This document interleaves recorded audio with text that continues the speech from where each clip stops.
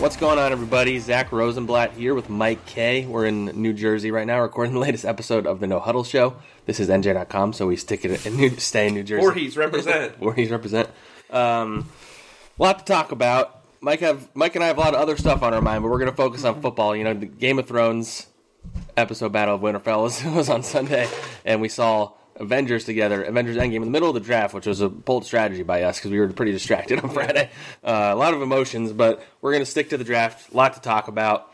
Eagles made five picks, uh, which is the same amount they made last year. It's not many, which it, it's interesting that they did that because Jeffrey Lurie had just talked about at the owners' meetings about how they're going to add like 20 new rookies over the next two years, and that, that would imply that they're going to add 15 more next year. But they do have a lot of picks next year. But I mean, what, what did you what did you make of that? That they wound up you know, it seems like they're turning. They they focused on guys they really like. They traded up in the first round.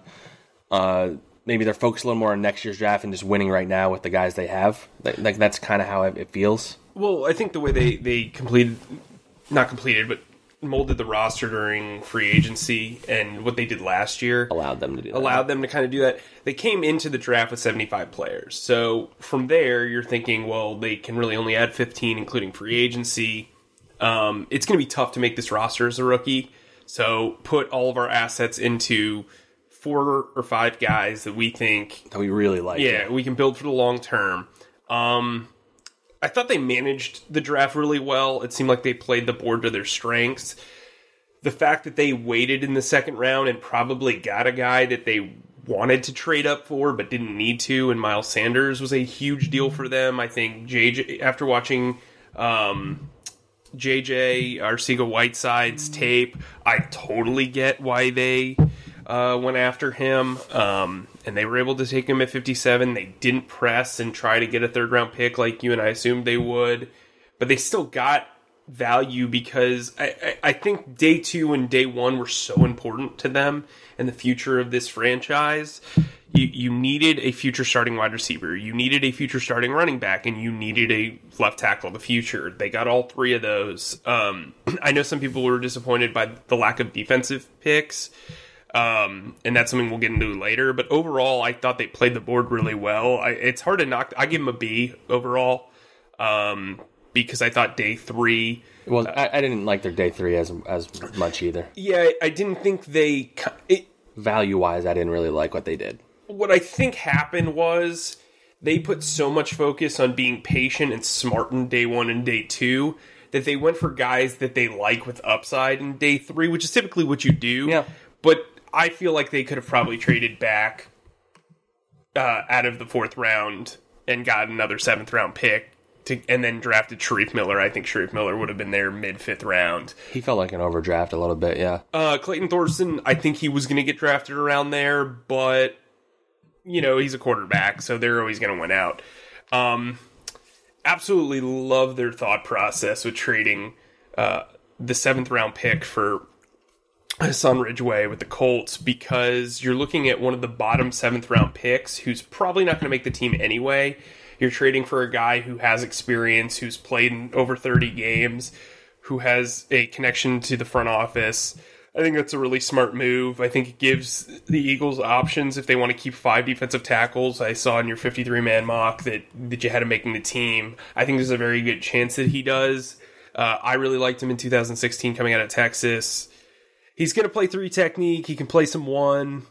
Um, but it's smart. They they utilize their sele- I'm rambling, but they utilize their selections very well. Um, Clayton Thorson, I've got a lot to say about him, like a lot, but overall, I thought they did really well. They like Shareef Miller to me. Before we get into the tape and overall, they went with a guy that they felt comfortable with. When you're in the fifth round, or Philly they, guy, yeah, when you're in the fifth round and there's uh, defensive end talent, just from a scouting perspective, there's not a lot of separation between an undrafted guy and a, and a fifth round pick, realistically. Um, look, Matt Burke was at Penn State, the defensive assistant. He's a former defensive coordinator. He knows what he's looking for.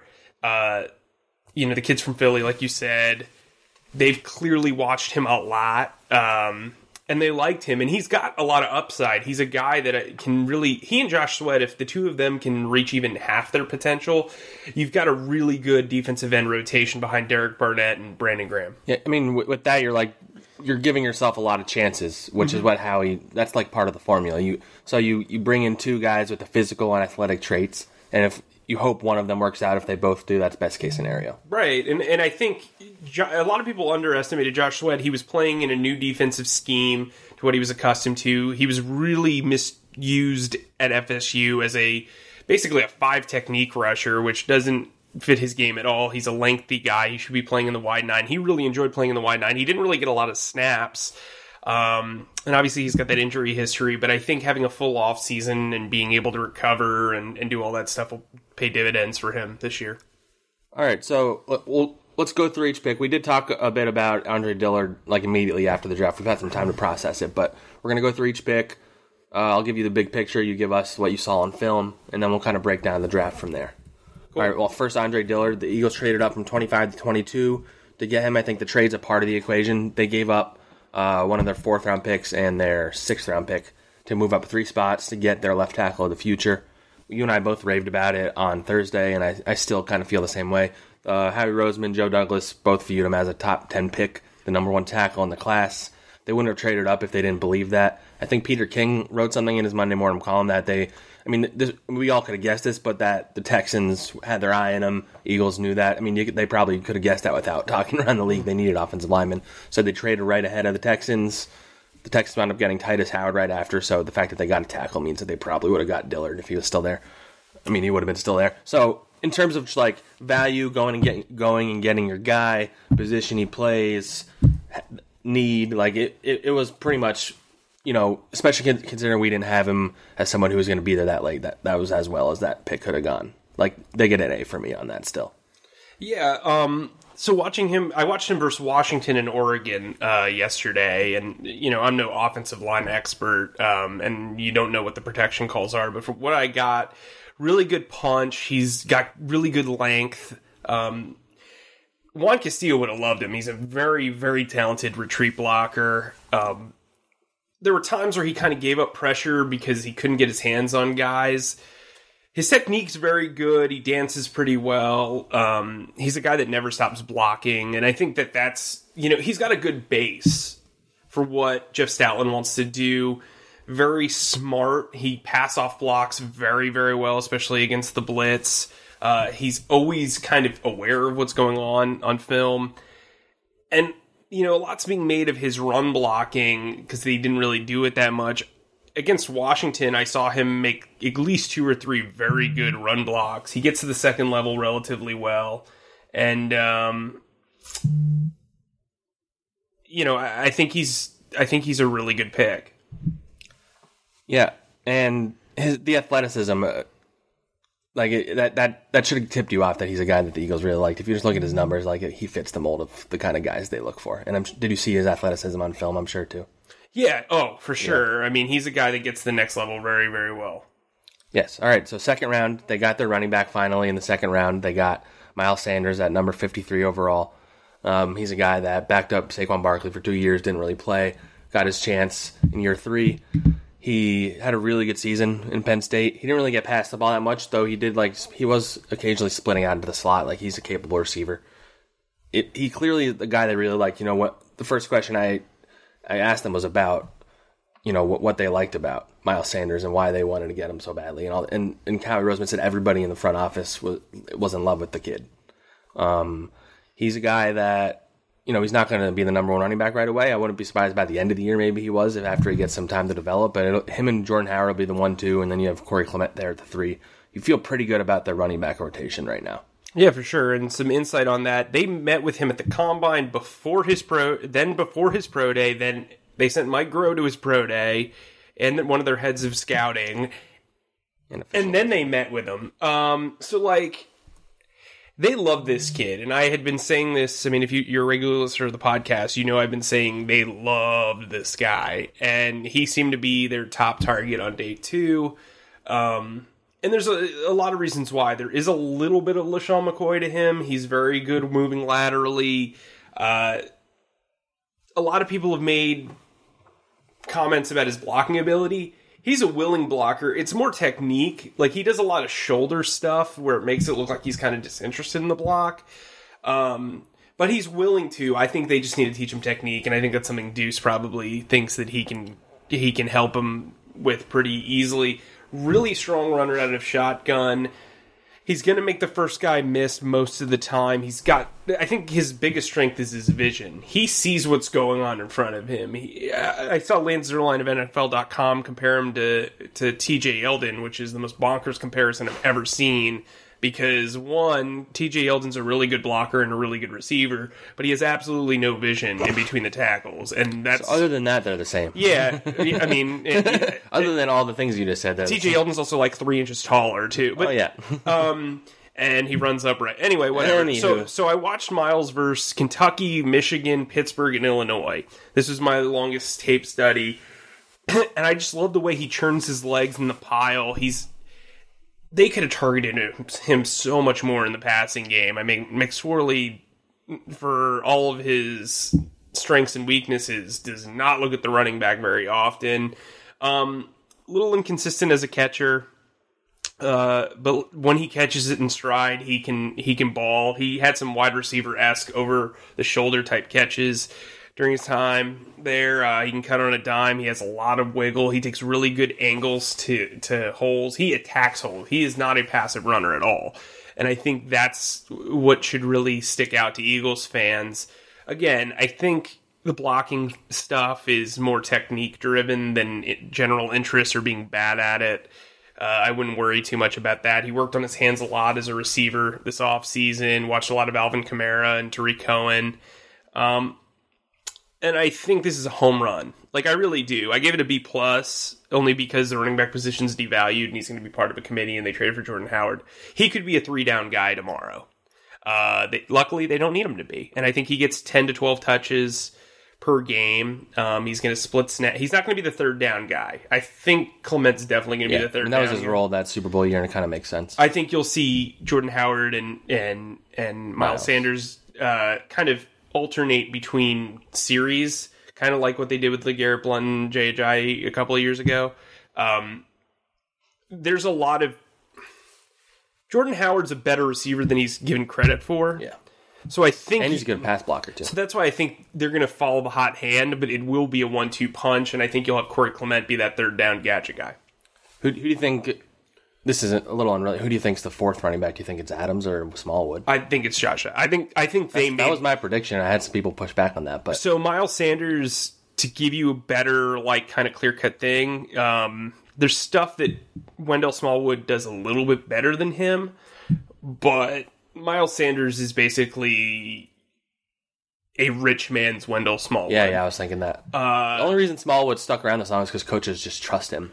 Well, I think Wendell. So, can we talk about this for just two seconds? Yeah, yeah. Wendell played very well last year. I think people relative to our expectations, right relative least, to expectations i mean they viewed him as like the fourth running back uh, and he he helped them on that playoff run Mm-hmm. um, i think he's a number two somewhere else i would not be shocked if he was tra- if there's like an injury like, like a dalvin cook like injury and they somebody traded for him i mean um, this running back class was not very good and there were guys that fell and I mean, Sanders was the second running back picked, and that was number fifty-three. Right, exactly. So, um, again, I, I think Wendell Smallwood's going to get a home. I think he's the most tradable player on this roster right now. Um, I think Josh Adams. Look, that shoulder surgery or that shoulder injury clearly slowed him down towards the end of the season. I know a lot of people thought it was just because he was bad, but he. I think I, I couldn't believe that how quickly people turned on him. That was so weird to me. Yeah, I mean he's a local kid. I know he shouldn't have been their number one running back, but that's not his fault. Yeah, I, I know for a fact that Deuce Staley is a huge fan of his, so I would imagine that he would be the fourth guy. yeah. All right. So the next pick I actually found to be their most interesting draft pick of their entire haul. J.J. Arcega Whiteside, receiver from Stanford. So they they met with like a lot of receivers in the pre-draft process. We didn't hear anything about the meeting with him. Almost every one of the receivers they met was, fell into the slot receiver mold. So we kind of both went under the assumption they wanted to get someone. Maybe if AJ Brown was there, they would have got him. Um, so I, f- I found it interesting because J.J. Arcega Whiteside is decidedly not a slot receiver. He's an outside guy. He's in the Alshon Jeffery mold, uh, which I think is an important distinction because Alshon Jeffery, I'm not sure what his future is after the next year or two. He is getting up there. His contract is large. He is injury prone. Uh, he's an important part of this team, but like I, I see, I can I see Arcega Whiteside as like being developed as his eventual replacement, and and, there, there was some pushback on them picking a guy like Arcega Whiteside because he wasn't as big of a receiver name as some of these other guys. And there wasn't a lot of hype around him, but the biggest appeal. I mean, you watched the film, but to me, like just looking on paper and reading about him, the, he's just another red zone weapon. They have a maybe the best group, collection of red zone options in the NFL. They have him who's six foot two, six foot three, and like two hundred twenty pounds. They have Alshon Jeffery who's six foot three and two hundred twenty pounds. They have Zach Ertz who's six five, six six, and two hundred fifty pounds, and they have Dallas Goedert who's six six and two hundred sixty pounds. Plus Jordan Howard who's one of the better short yardage running backs in the NFL. Like I don't know if there's a better group surrounding a quarterback coming out of this offseason than the one that Carson Wentz has, maybe in Cleveland and maybe there's like a couple others, but it, it was it's just really smart move because he's a guy who can help them right now without being their number three receiver. He can help them from the number four spot. Yeah, I think he's going to end up being the X receiver eventually, which is what Alshon is, and um, you know, he's a guy that has reliable hands. Um, he's a very smart football player. Like you can see it kind of in his routes. He's very stiff uh, when he it's very he's a very weird case study because he's a guy that you know we reported over the weekend that he had said that you know getting off of press coverage is like doing a crossover in basketball. He's got a extensive basketball background. He really does have some fast feet. He looks, you know, like he you know he he looks like a point guard when he's trying to get off the line. Um, and I think fans will really like that. If you don't get your hands on him, he can get by you. He's got very quick feet. The problem with him is he's very stiff as a route runner. Like he rounds out his routes. He's not particularly fast. I mean, he ran in the four fours, but he's he looks like a lumbering runner. Um, if he beats you one on one, chances are he's going to draw a PI or he's going to beat you for a decent gain. Um, when he's covered pretty handedly, he's going to win 50 50 matchups 90% of the time or get a PI. Um, he demands that other corner the corner be physical with him because if you're not, you're going to lose that matchup. I, I was sitting there thinking, I imagine JJ is what Chip Kelly thought he saw when he watched Riley Cooper because they're very comparable players from a yeah. from a build and a game standpoint. Um, but JJ's got a skill set that's really interesting. I mean, his, his, release off the line of scrimmage is fantastic. He's a very willing blocker. Teams are going to love the way he attacks the ball in the air. Um, he had a fantastic touchdown against Oregon. Um, he really showed off his reach. I mean, he just like skied for the ball. Uh, he's a guy that I think needs some development as far as where he puts his hands and his catching radius but he has a big catching radius. I think this guy is somebody who's going to be a possession receiver for them for the next 10 years. I, I really do. Like, I, I think if you're an Eagles fan, you should be pretty excited about this guy. Yeah, so one of our main thoughts coming into the draft is if they got a receiver in the second round, it was going to impact Nelson Agholor. It, it, I don't think this impacts Nelson Agholor. Number one, number two, I think Nel- Mack Hollins should be a little bit nervous about his future in this franchise. Yeah, yeah, yeah they, have sure. repeatedly, especially last year, they just kept on bringing on guys like low level veterans when it was supposed to be Mack Hollins' chance. He wound up not even playing a single snap last year. They drafted another guy. They brought in DeSean Jackson. They brought back Nelson Agholor and Alshon Jeffery. And, you know, they signed a guy like Charles Johnson. They still have like Shelton Gibson lingering. Like, I, I think Mack Hollins makes the team, but I don't think his future is very secure. Like, he uh, should be worried about next year. How do you think Shelton Gibson feels? Yeah. I mean, um, Yeah, uh, he's I, he's good on special teams. Will be the reason why he sticks around, if anything. But I don't see him being an offensive factor. Yeah, um, from Nelson Agholor's standpoint, they really don't have a lot of guys that can play the slot. Yeah, that's the thing. I'm wondering if you put Alshon Jeffery in there, if if Big if slot. Nelson gets injured, because they did some like good stuff with him. Uh, or Dallas rem- Goedert. If you remember Zach Ertz, yeah.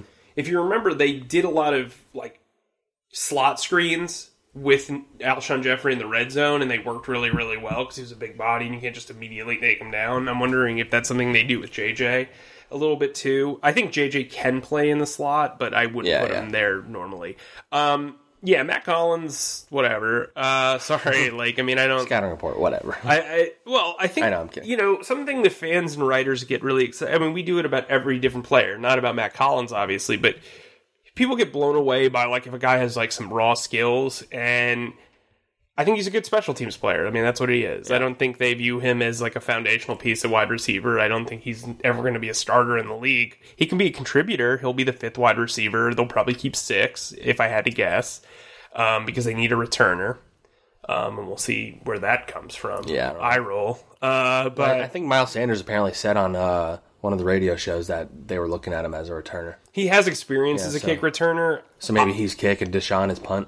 I'm not. Sh- I don't put either one of those guys back there. I mean, DeSean maybe in like special circumstances, but yeah, maybe. I don't know. Corey Clement could be the kick returner again in theory. Um, yeah. So JJ, I watched against uh, Washington State, Oregon, and Notre Dame, and he's just extremely consistent. And I think that's something that the Eagles probably liked. I also think some something that fans and, and media kind of overlook with Carson Wentz. Yeah, he can he can throw rockets all the time, but he really likes to loft up passes. And frankly, him not having to drive the football a ton will probably help with his back long term. You know, lofting passes is a good thing, and you saw the success that Nick Foles had with Alshon Jeffery. He can go up and get it. JJ can go up and get it. Zach Ertz, Dallas Goedert, what have you. Um, lofting throws to DeSean Jackson down the field. I think the only guy he really needs to throw bullets to is is Nelson Agholor, and Nelson's great at that. So catching bullets. Um, I know, well, he has on Twitter, uh, but yeah, I think this wide receiver tight end group's very, very, very intriguing, and I, I think this. I've said this before. This offseason is about making Carson feel comfortable. Getting Dillard as the swing tackle is an upgrade. Awesome. He eh, Andre Dillard's a really good pass, like really, really, really, really developed pass blocker. Uh, and JJ Arcega Whiteside can catch the football from anywhere. So, yeah, I think uh, he needs to stay on his feet. He does do catch a lot of diving passes for no reason. He's very dramatic. so he and I have a lot in common. But yes, that's my take on that. You didn't intern for Condoleezza Rice, though. All right. what? you didn't intern for Condoleezza Rice. Nope, I just misspelled her name on Twitter. All right, so fourth round, they so they traded their first fourth round pick mm-hmm. in that Andre Dillard deal, which was fine. Um, then they picked Shareef Miller mm-hmm. at the very last pick of the fourth round. Mm-hmm. I, in terms of value, I didn't like this pick very much. There were some guys. I mean, maybe they didn't evaluate those other guys that well, but there were some other guys on the board that I liked more than him. He seemed like more of a fifth, sixth, seventh round guy. Um, but if they view it, they like his traits, they like his potential they can afford to develop him. If Chris Long is retiring, I'm a little concerned about their depth at defensive end in terms of proving guys. I don't know if he's ready to play as a rookie. You you watch this film. I mean, what what do you think? So he's not very developed. Yeah, that's that was my issue. which is good and bad. Um, for one, the raw talent's there. He's got great burst off the edge. He's very good at setting the edge. Uh, he's got a good motor, uh, Andy Reid style thing.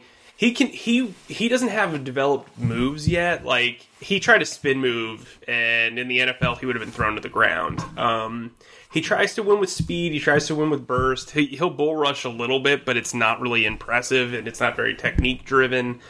Um, he uses his strength a lot. He's a very strong guy, uh, but sometimes he tends to like rush up right, and that's going to hurt him in the NFL. Josh Sweat's kind of a similar prospect in that regard. Um, he can beat a tight end one on one, which is important because he's going to face tight ends quite a bit because he'll probably rush from the, the strong side, I'd assume.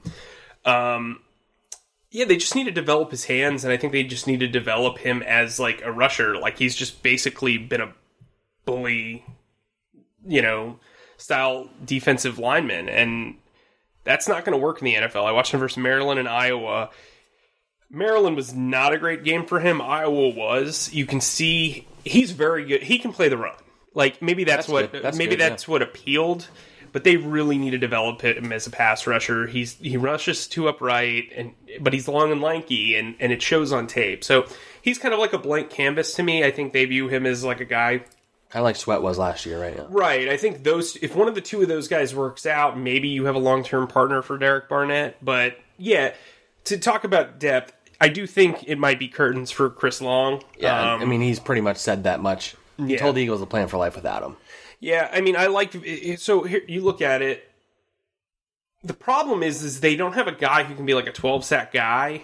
I mean, they didn't after they traded Yeah, Michael I mean, Bennett that's anyway. Not, that's not really Barnett or Brandon Graham's game. right? They they put a focus on rushing from the interior, bring back Timmy Which Jernigan. maybe mi- and- maybe like Malik Jackson is that guy. yeah, Malik Jackson. He had- might be their 10 sack guy. This. I mean, Fletcher Cox too. Yeah, Fletcher Cox, and it, I could see them And combining. they, by the way, they brought back Timmy Jernigan too. Yeah, I think I think if Fletcher Cox and Malik Jackson can combine for like eighteen to twenty sacks, th- then I think that's a feel good. legitimate possibility, honestly. Yeah, I mean, uh, I covered Malik- Jackson's never. He, he's never. I mean, he played next to Calais Campbell, but Fletcher Cox is a different beast. Yeah, um, and they moved Calais all around. Yeah. Fletcher's pretty Like he's, stationary. it's pretty rare he's going to be double teamed.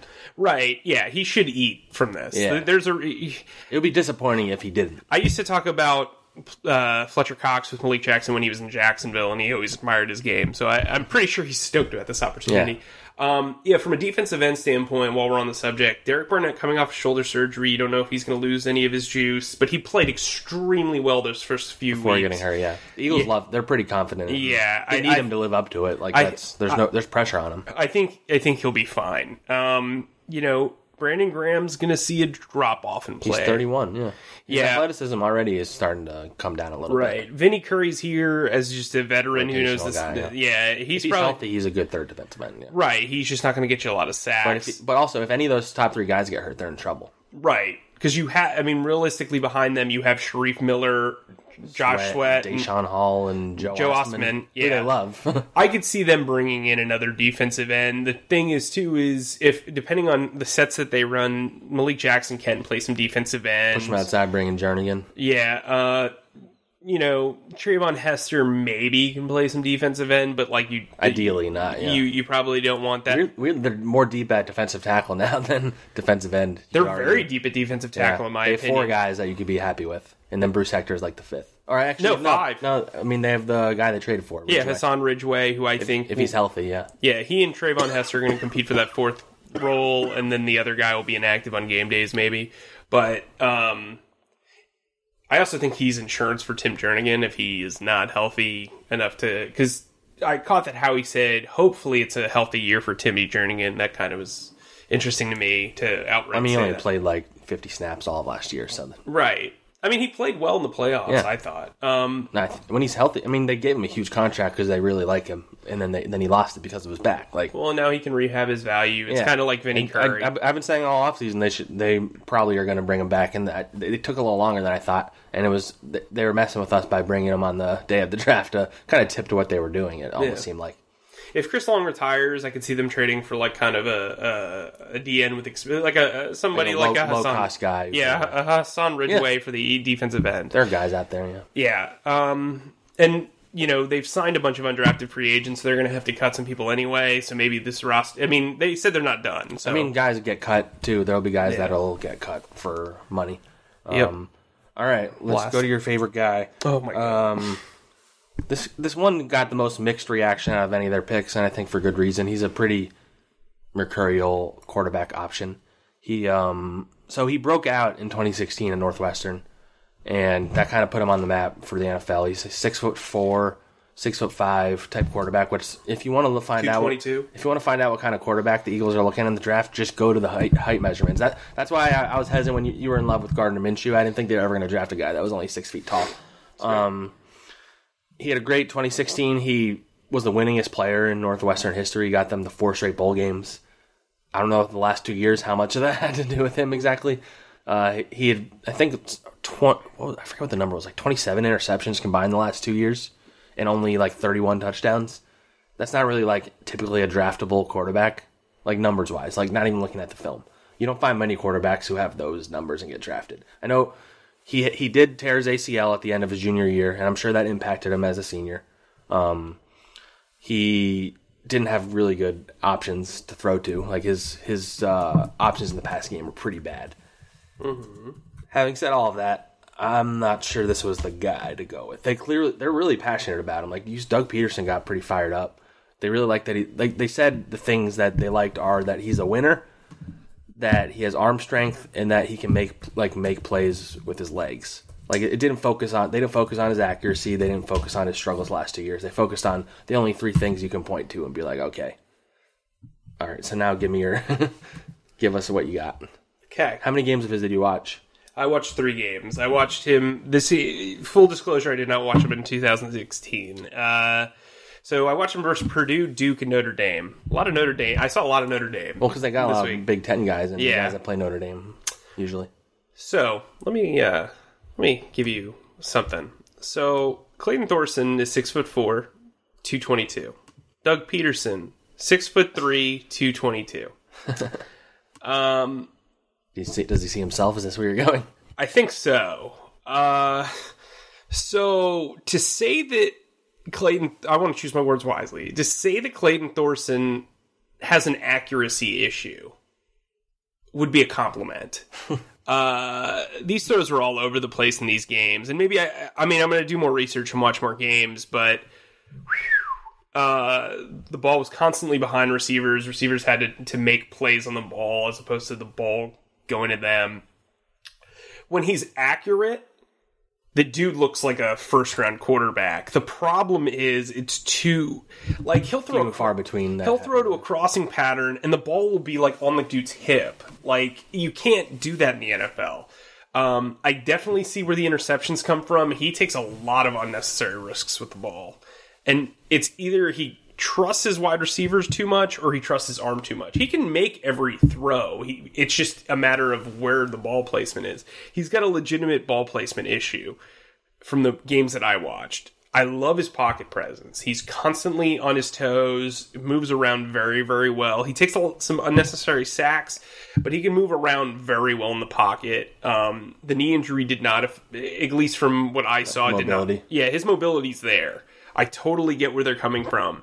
So they like they like his tools. Clearly, is the big Yeah, thing, right? he's yeah. a he's a tool prospect. That's what he is. Like they they they didn't draft him because he's got like tremendous upside. He's just I think it's a lot like Shareef Miller. If you if you're able to if you feel comfortable in your coaching staff that they which can with develop quarterbacks they obviously do. yeah, Press Taylor, Doug Pederson. Um, I think this is a good long term project for Pederson. I think Pederson needed that. I mean, he's already got Carson. You know how much he loves Carson, but like this is a guy he can craft behind the scenes, kind of play he can mold himself as opposed to someone coming in pre-made. Right. He he can be Dr. Frankenstein a little bit. Nate Sudfeld's probably gone next Like year. instead of buying a pre-made salad at Trader Joe's, he's making his own salad at home. Right, correct. You Create your own's always better because then you can choose between feta or cheddar. Uh, but like, yeah, the accuracy is is a problem, like a genuine problem. Um, I think he he's tough as nails. I mean, he took some hits in these games. His offensive line was not very good. His wide receivers were not very good. But some of the decisions he made in, in these games, uh, there was an interception he had where he threw late, didn't like, didn't acknowledge that safeties play the game of football, and just like targeted downfield in triple coverage. It was like the weirdest throw and decision I've ever made. I, I didn't see it in all 22, so I don't know what he saw, but it was just a very poor decision. He did make an amazing throw. I want I want to acknowledge this. I think it, it was the Notre Dame game. So there was a a slot receiver who who ran a nine route from the slot, just ran straight, um, and he hit him like over the shoulder in a tight window, and I could I could see someone getting excited about him from that because it seems like he flashes that. I don't think he's ever going to be a starter in the NFL. I don't think this is a guy that they're going to flip for a second round pick in a few years. But if he could be a long term like Jim Sorgi like backup for Carson Wentz, who's cheap, I think this is really smart. He seems to have a really good intangibles, really good leadership ability. And you know, if Carson is stays healthy, they have really nothing to worry about because he's going to do his job. He's going to be comfortable as a backup. And really, that's what he should be. Like, Mike Kafka's career was ruined because Jeremy Maclin dropped a pass against Atlanta several years ago. Um, and he was the last good Northwestern quarterback to come to the NFL. I think this guy can have a similar career, but can have longevity based because of the coaching staff that he has. And now Mike Kafka's an, an offensive say, coordinator. so the what you're saying is in ten years from now he's going to be like Doug Pederson's assistant. Probably, probably. I I think smart, he's a smart guy. I think Doug Pederson sees a lot in of of, Of him him, and him. In, in him, and and there's nothing wrong with that. I th- and Doug Pederson was a pretty good backup for I'm sure years. Doug Pederson pushed for them to get a guy like this, honestly, because if it's a quarterback, Doug's involved. Well, and you know, we t- when we do when we do our grades at nj.com, we we talk about need, value, or need, talent, and value. The talent open ended. The value, okay, fine. I mean, it's a quarterback. Need when Jeffrey Lurie, the owner, says we'd like to add a quarterback every year. That's a you're gonna draft a quarterback almost every year. So that's like a that's a mission statement. And I think of the guys remaining, I know a lot of people like Tyree Jackson, but supposedly his mechanics are everywhere. I've only watched one game of his, so I can't really. And the tools, their tools are tantalizing with him too. But he was an undrafted free agent, so obviously his Right. tools aren't that impressive. I and, guess. and former Eagle scout and, and uh, NFL draft analyst Jer- Daniel Jeremiah compared him to Logan Thomas and said, you know, sometimes comparisons can really be good, and sometimes they can really hurt you. And because Logan Thomas didn't work out, pe- teams are a little afraid. Ironically, uh, he signed with the Bills, who had Logan Thomas as a tight end Tight for a end, little yeah. little while. Um, it, whatever. I mean, he's basically the team If you're getting a quarterback in the fifth to seventh round, they're all kind of the same. So let's talk. You talked about the trade value with Andre Dillard. We should also consider the trade value with Clayton Thorson, right? So they traded back four spots with the Patriots and picked up a seventh round pick, which in turn turned into Hassan Ridgeway. tackle has been in the league. Yeah, Right. So you got a third string Yeah, you have to- you have to factor that into the and- equation. and a, a rotational defensive tackle with experience for a fifth round pick. I think people were knocking that. I I, I gave Clayton Thorson by himself a C, um, because there were guys on the board that I thought could help the Eagles immediately. They do clearly have a safety depth need, in my opinion. It's definitely a need. Sorry, Twitter.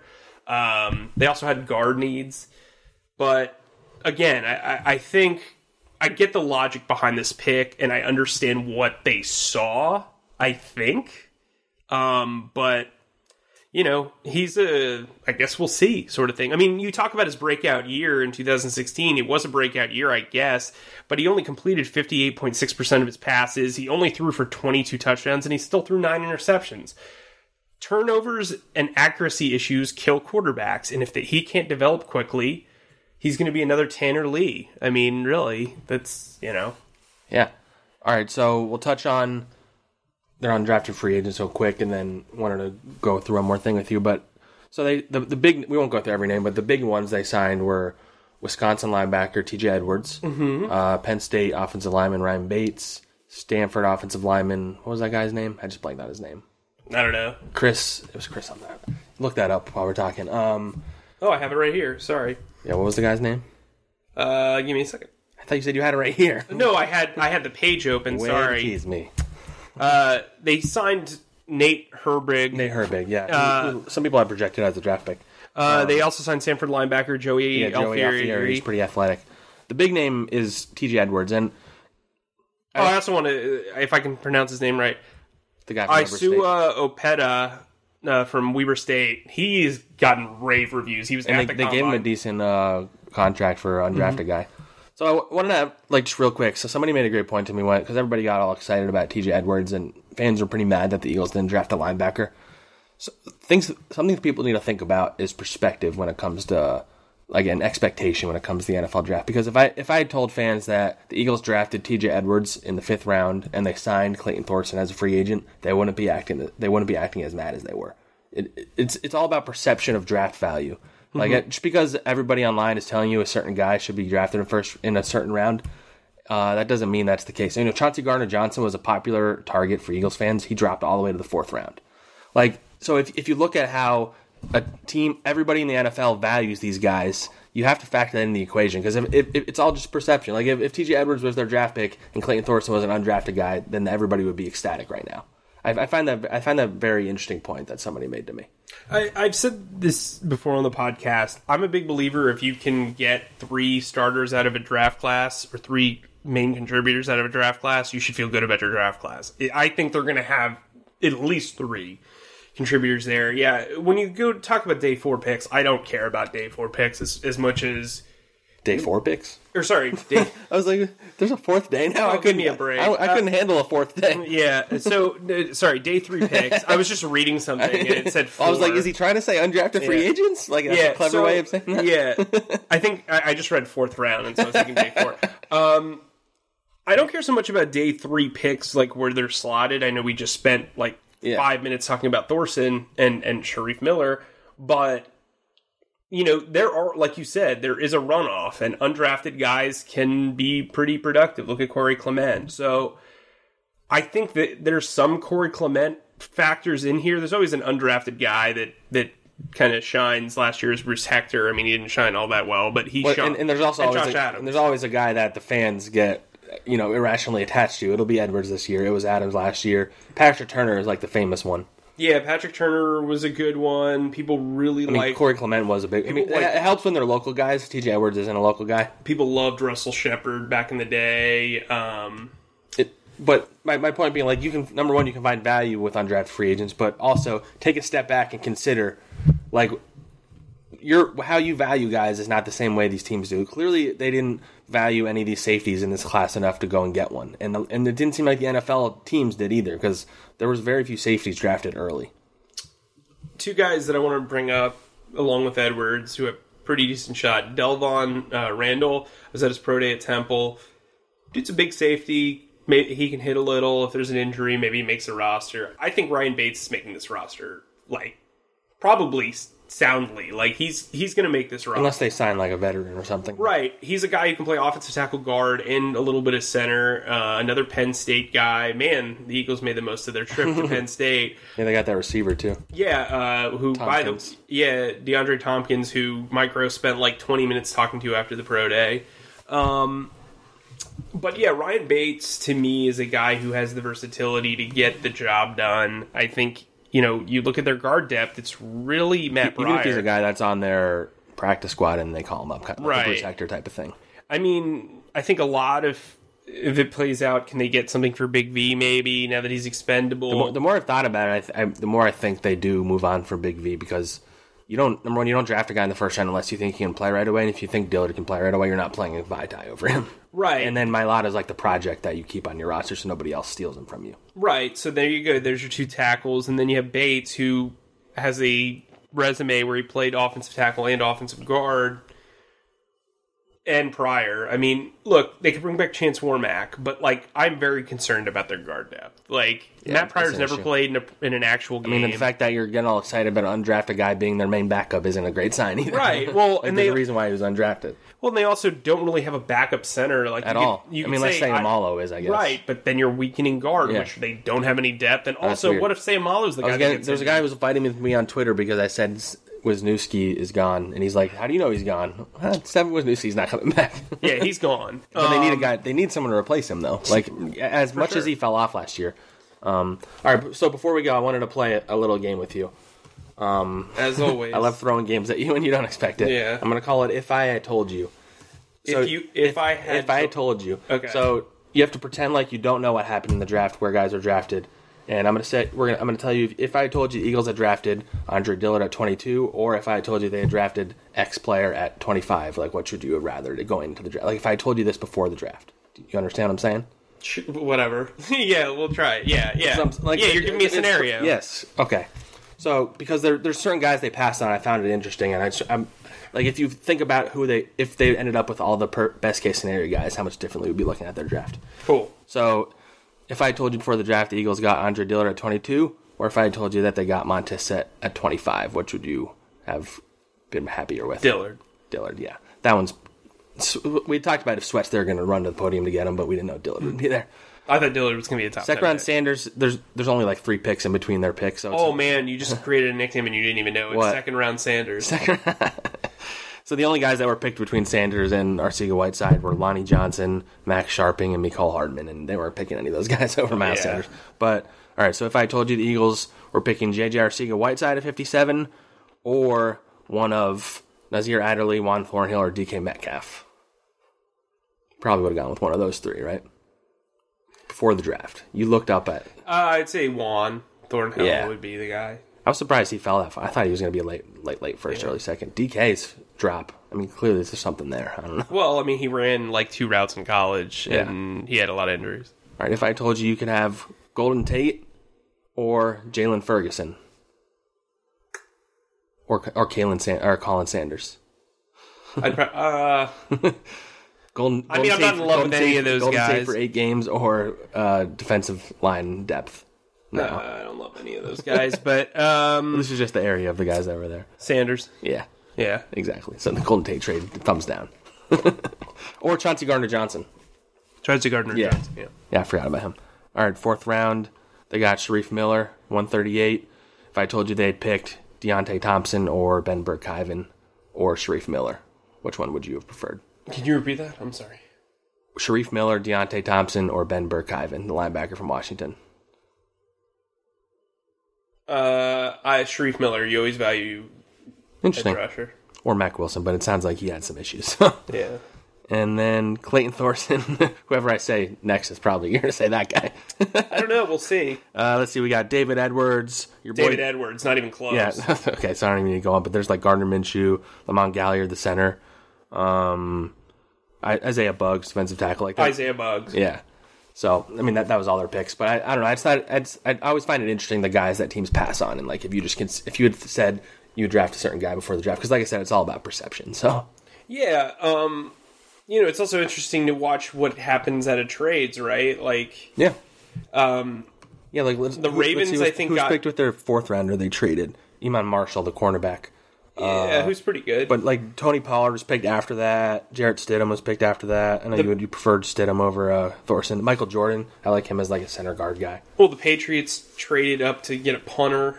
you know what I mean? Like, And the 49ers drafted like a 27 year old punter. yeah, whatever. Life comes at you fast. Is he Australian? Probably, usually are. Yeah, he's Australian or a Mormon. That happens. Um, You're the punter guy. It's true. I am the punter guy. That's what they actually call me in the street. My kid almost called me punter guy, but then it came out the, the other day. Um, yeah, I mean, it, it is interesting. Um, one note I want to make: they've signed a lot of undrafted guards, and I think agents are very smart with with how they've really like when when the process is. And I've talked to a lot of agents about this. When the draft's over and you get these offers, you immediately scour depth. Well, you've done it in advance, but you scour depth charts to see what who who's done what during the off season, how many so and so's are at a certain position, and clearly agents see wow, there are a there's a lot of opportunity for guards. I think two undrafted guards can make the team, uh, at least. Um, so, you know, kudos to them. It seems like every year the the Eagles sign like two or three guys that had like really good college careers. One drops off immediately. So it'll be interesting to see who they like because he just doesn't have it. Yeah. Um, Somebody in this group, maybe even T.J. Edwards, who knows? yeah, yeah. So I wouldn't get too overhyped. That's the thing. Like, if a guy's undrafted, there's a reason why he's on. Like, we can say we like this guy, this guy, this guy, but 32 teams could have drafted any of these guys, and nobody did. So, for sure. And and I think you know there's going to be some good competition. I still I still doubt their depth at safety. Having four guys that can play the position that you know can play the position, uh, and a few other guys that don't have very high upside, that's not strong or good safety depth. That's okay safety depth. And for a team that constantly wants to get better at positions, I'm concerned about them long term at free safety. I'm concerned about them long term at third uh, with the third safety, big nickel. Uh, if you want to move Avonte Maddox to the slot full time, then you don't even need to run that package because he can play safety. He's a safety corner hybrid now because they'll probably ask him to gain a few pounds. But like, I don't know with Jalen Mills and Ronald Darby both coming off season-ending injuries that look like they needed time to recover in the offseason. I'm not sure how I feel about moving uh, Avonte Maddox to safety when he was so good at corner. The same could be said about slot receiver. I mean, everybody's dying to trade out Nelson Agholor for value. who you replacing him with? Yeah. Who's going to play in the slot other than him? Like, that's a concern of mine too. Shelton Gibson can't play there. I mean, I really like Doran Miller a lot. Uh, I'm wondering if he could be a dark horse, but You know, he was a one trick pony during. Charles Johnson played the slot at all. I don't really know what his. Uh, he's is. played all three, if I remember correctly. I think but he's an interesting guy that could steal Shelton Gibson's roster spot. Honestly, yeah, I mean, I, like I said, I think they keep six, and I think the first five, uh, five, first five are pretty set unless Matt Yeah. Hollins gets hurt again. Yeah, I think the first five would be Alshon, DeSean, Nelson, JJ, JJ, and Mack. And Mack. Um, and then I think a six guys competing for a role. Shelton Gibson's a really good gunner. That's what he's got going for him. and he's but fast. yeah, but uh, you know he's realistically caught I think four passes in two years. So it, I think that six spot's gonna be wide open. There's a couple of CFL guys who are kind of interesting. Um, and then you've got the ultimate wild card in Braxton Miller. Whatever. um, so yeah, I think they still have spots that they could really kind of fine tune. Uh, if I was an undrafted free agent wide receiver, I wouldn't sign here. If I was an undrafted corner, I wouldn't sign here. If I was an undrafted, um, you know, running back. running back, I probably wouldn't, wouldn't sign here. If I was a tight end, I wouldn't even acknowledge Philadelphia calling me. Although, I mean, you could go in the practice squad and replace Richard Rodgers next year or something. Sure. But uh, I, I think they like Josh Perkins too, who's going to be back I wouldn't after rule him out come making the team. Honestly, That's actually going to be an interesting third safety battle between Perkins and Rodgers. Mean, Uh, third tight end. Third, yeah. You have oh safety my god, man! I mean, I, they also they also I'm sorry, guys. Perkins, Perkins is like a hybrid receiver too, so he's like maybe even a fourth guy if they kept it. yeah. So, yeah, I mean, you you run a lot of two, two tight end sets, so you could probably keep four. Thirteen personnel, baby. Let's do it. Yeah, hey, go for it. Um, right, let, let's let's uh, wrap up on that note. Um, I will say a, a date to keep in mind is May seventh, which is about two weeks from now. That's the last day where signings will count against the compensatory formula. I think you'll see the Eagles sign somebody after that point, whether that's a defensive end, a safety, I, I think keep a lookout for a trade. Uh, or the- yeah, I trade's think- possible I, too. I think there are guys on the market that are interesting. Yeah, and this Go, is go sort and get Chris Harris to do it. this is typically where Howie kind of proves his- that he is playing on another level than everybody else. And frankly, with the amount of draft picks they're going to have next year, I think he's probably willing to to kind of put the cart before the horse, if that makes sense. Yeah. All right. Before we go, I just want to remind you guys that I was right. Eagles did not draft a cornerback in the first round, so you can all shut up. Also, by the way, called them trading with the Ravens and the Patriots during draft weekend. They did both. You're welcome, America. But just ignore all the other stuff I Oh, got wrong. also, also, I thought they weren't going to draft a quarterback or a running back, Zack. Boom, money. Fair, touche. I was gonna say, except for all the stuff we did get wrong, there was a couple things we got right. Listen, why would we acknowledge that Yeah. ever? All right, we'll end on that note. Uh, if you guys want to speak to us about your emotions after watching Game of Thrones or Avengers Endgame, tweet at us at Zack Blatt. At We're here Mike for it. Underscore E underscore K. That's all we want you to tweet us about at this point, to be honest. Yeah. Uh, leave a comment, write a review, subscribe, and thanks for listening, guys.